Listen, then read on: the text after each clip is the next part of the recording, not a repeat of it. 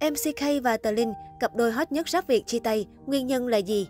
Mới đây, khi một người hâm mộ đặt câu hỏi trên Instagram story của MCK về tin đồn chia tay Tờ Linh, nam rapper xác nhận cả hai đã đường ai nấy đi. Anh trả lời fan, chia tay mất tiêu rồi, nhưng mà thế là đẹp rồi, kết thúc nhẹ nhàng. Ngoài ra, MCK cũng chia sẻ lý do dù đã chia tay, nhưng cả hai đều không xóa ảnh của nhau là vì bọn tớ là người nhớn. Ngay sau đó, Tờ Linh có động thái trên Instagram Story, nữ rapper thoải mái bày tỏ suy nghĩ. Có thể các bạn biết rồi, có thể các bạn chưa biết, nhưng mà thì à, Tờ Linh với MCK chia tay.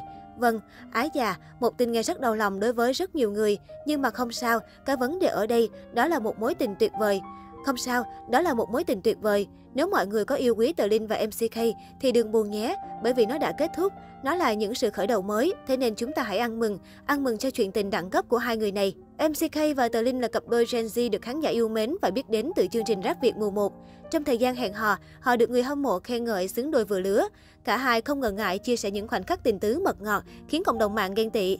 Cặp đôi rapper sở hữu tài năng và phong cách cực chất, hợp nhau từ tính cách đến việc làm nhạc. Rapper MCK tên thật là Nghiêm Vũ Hoàng Long sinh năm 1999. Tại Sáp Việt, MCK thuộc đội huấn luyện viên Karik, nổi bật bởi lối rap melody và được gọi là truyền nhân của JT, Justati. Trước khi tham gia cuộc thi, MCK có nghệ danh Long Ngơ, có nhiều bài hát được yêu thích, đặc biệt là bản hit Tình đắng như ly cà phê. MCK khá đa tài khi có thể trình diễn được nhiều dòng nhạc. Thành công của rap Việt mùa 1 đã giúp hàng loạt các rapper trẻ được công chúng yêu mến và biết đến rộng rãi hơn. Với những gì mà MCK đã thể hiện tại chương trình, không chỉ giúp anh chàng có mặt trong top 8 của chương trình, mà còn giúp MCK trở thành cái tên được đánh giá là nhân tố tiềm năng của nhạc rap trong tương lai. Sau khi cuộc thi khép lại, MCK liên tục gặt hái nhiều thành công đáng ngưỡng mộ. Nam rapper trở thành chủ nhân của giải thưởng tầm cỡ và các sản phẩm âm nhạc của anh chàng cũng nhận được sự đón nhận nồng nhiệt của đông đảo người hâm mộ. Tờ Linh tên thật là Nguyễn Thảo Linh sinh năm 2000 tại Hà Nội. Cô từng là sinh viên khoa y dược trường Đại học Quốc gia Hà Nội, có bố mẹ đều làm bác sĩ nha khoa.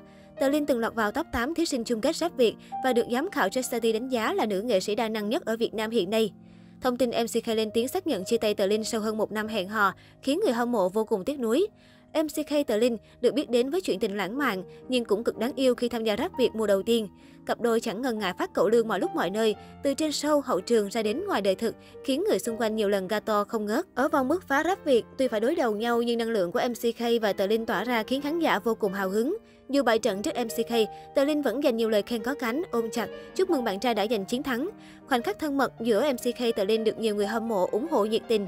Trước khi đến với đêm chung kết rap Việt, MCK từng vướng ồn ào khi đăng tải lại đoạn clip gây tranh cãi phát ngôn thô tục của Gomso nhằm ủng hộ đàn anh. MCK bày tỏ quan điểm rằng mình không sai nên không cần phải xin lỗi. Tờ Linh ngay sau đó cũng đã chia sẻ lại bài đăng này nhằm ủng hộ MCK và Gomso. Đa số netizen ném đá MCK vì cho rằng anh chàng có phát ngôn không đúng chuẩn mực trong thời điểm vẫn đang thuộc khuôn khổ cuộc thi, gây ảnh hưởng đến uy tín của chương trình. Trước ồn ào vả miệng, thí sinh Tim Karik đã lên tiếng xin lỗi khán giả trên trang cá nhân. MCK cho rằng không cần phải tôn trọng những người đã đào lại đời tư của anh trong quá khứ, những người có ý định vu oan cho người anh em của mình. Tề Linh sau đó cũng nhận lỗi sai về cách hành xử của bản thân và đăng tải tâm thư xin lỗi đến khán giả. Ngay trong đêm chung kết rap Việt, MCK khiến khán giả vô cùng ngưỡng mộ khi quay về với hình ảnh chàng trai nhẹ nhàng, ngây thơ si tình, ngần nga bằng rap lớp và vào giai điệu này, viết về chuyện tình yêu với Tờ Linh. Trong một bài phỏng vấn, MCK Tờ Linh từng chia sẻ về chuyện tình cảm của cả hai. Nói về việc công khai phát cậu lương kè kè nhau mọi lúc mọi nơi, MCK cho biết, chuyện về sau thì để sau tính, bây giờ yêu nhau không công khai vì sợ sau này có một cái gì đấy thì lại dở hơi ấy. Tờ Linh khi đó cũng bổ sung, tại sao không sống ngay tại lúc này? Bây giờ tôi tự hào về người yêu tôi quá lại không được phép đăng lên à, hay như thế nào? Tôi yêu người yêu tôi quá, tôi không được phép khoe ra à các bạn, phải giữ nó ở trong lòng tôi á.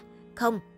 MCK khẳng định, Chuyện yêu nhau mà công khai nó rất là bình thường, bởi vì con người mà, không ai cãi được trái tim mình cả. Khi mà nó nói thì mình phải nghe. Nếu không nghe, cố vừa nói đi, thì nó cứ nói tiếp, mình sẽ phát điên lên mất.